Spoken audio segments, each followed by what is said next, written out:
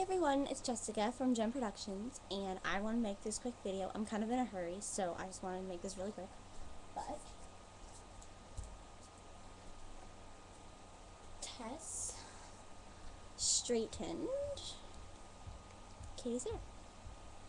So my Our Generation doll now has really pretty straight hair um, that I can actually do stuff with now. I know it's probably not the best quality, but if you look at her in other videos, her hair is poofy and extremely frizzy, and I couldn't do anything with it.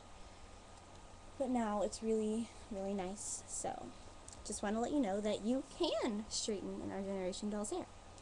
And you just have to be really careful with it and make sure that you leave it, um, like put it in braids to keep it from getting frizzy again.